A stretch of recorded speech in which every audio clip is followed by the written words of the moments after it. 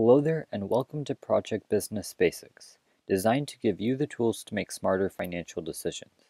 Whether you're looking to learn something brand new or just want a refresher on some basic economics, there is a place for everyone on our show. I'm Archit Janarkar and I'm your host.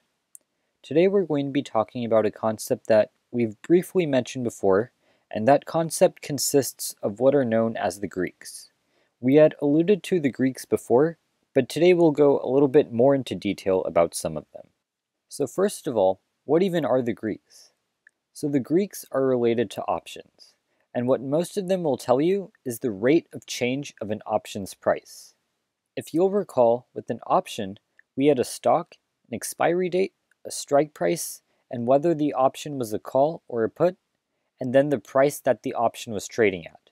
And a lot of people who trade or buy or sell options, to them, the price that the option can be bought or sold at is very important.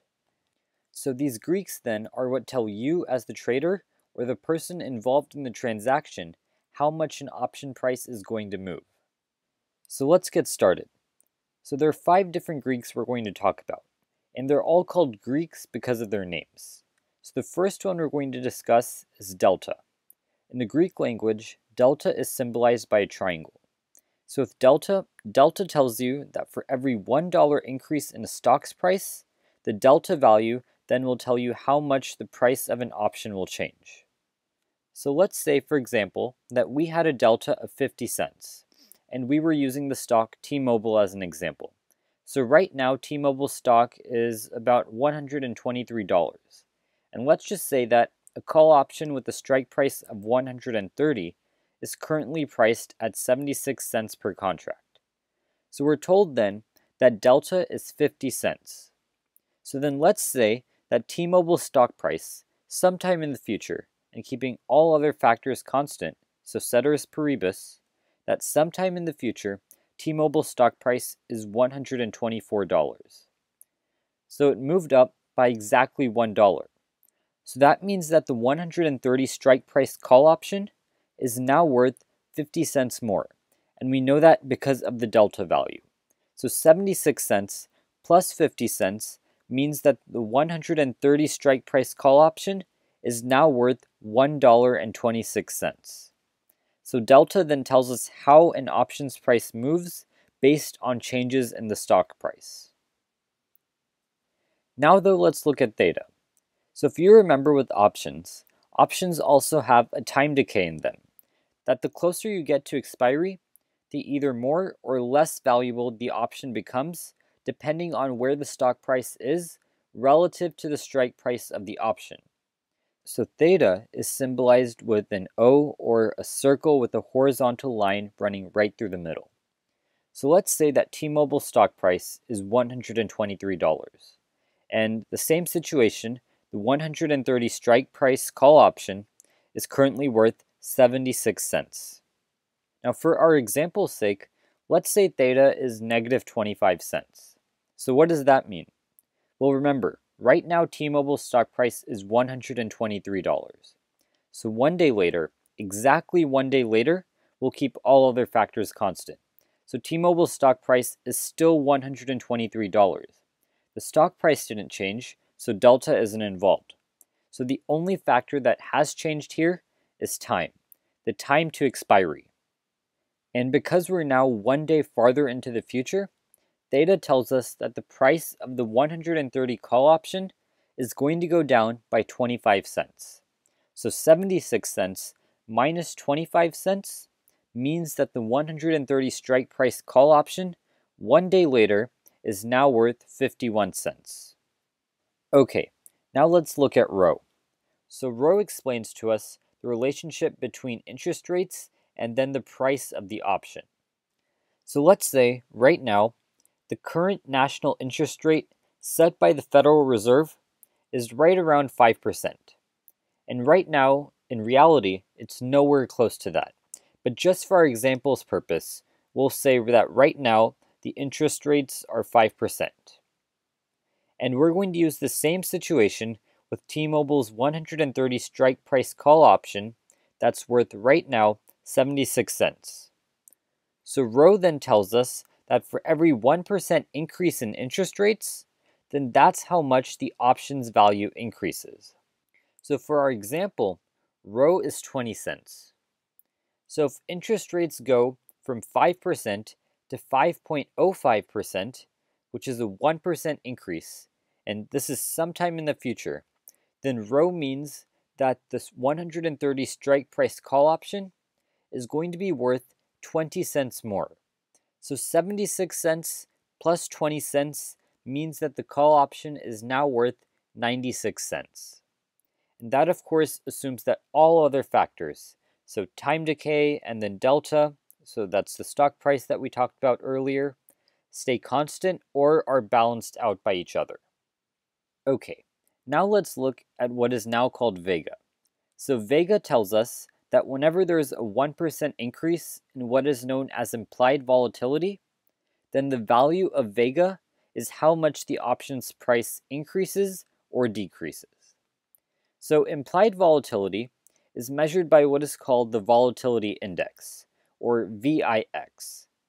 And VIX generally is a measure that tells an investor or trader what the market's general level of volatility is. So let's say then, in our example, that right now the VIX index is currently at 30. And same situation with the 130 call option. So that right now is worth 76 cents in our scenario. And Vega, which is symbolized by a lowercase v in the English language, Vega is 10 cents right now. So that means if the volatility index increases by 1% from 30 sometime in the future and all other factors are kept constant, so that 1% increase then is from 30 to 30.3, that means then that the value of the 130 call option is going to increase by 10 cents. So 76 cents plus 10 cents is 86 cents. Okay, now let's look at gamma. Gamma is symbolized by an L flipped on a horizontal axis. So basically it's an upside down L. So gamma is different from all the other four Greeks we talked about. Gamma tells us the rate of change of delta, and that is what makes it so different from the other four. The other four told us how some factor affected the price of an option. But gamma is telling us how change in stock price causes delta to change.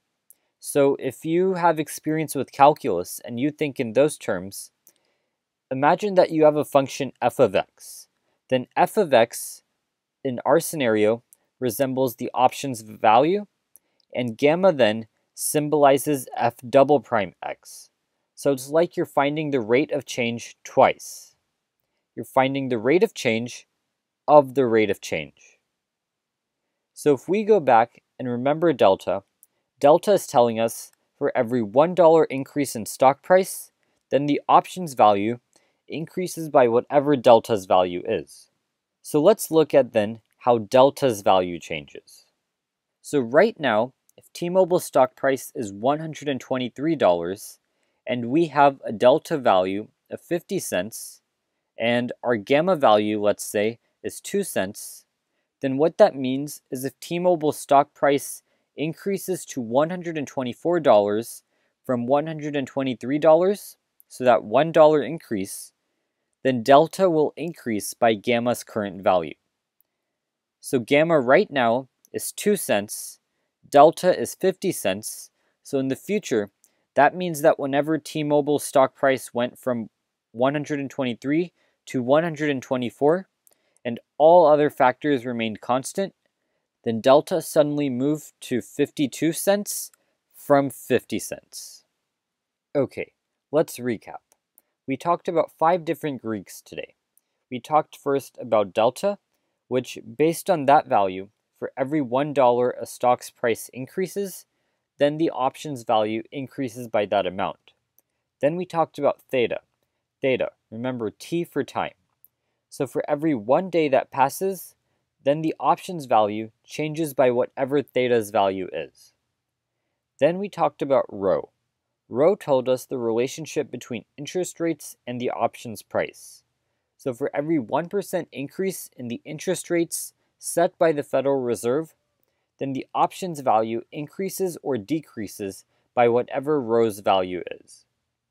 And then we talked about Vega.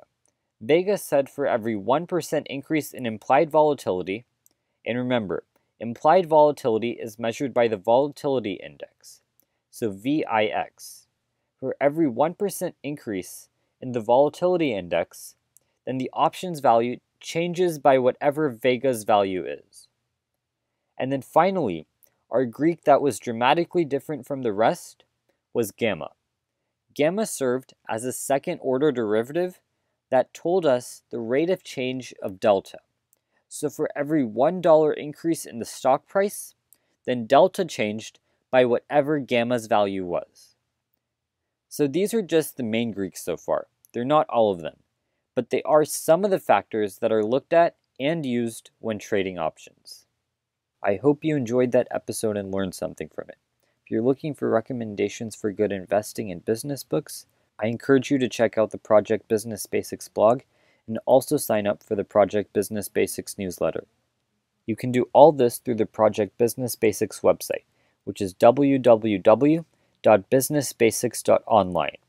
Also, make sure to check out our social media. We're on Instagram and Twitter with the username at PROJBIZ Basics. I'm Archie Janarkar. This is Project Business Basics. Thanks for listening.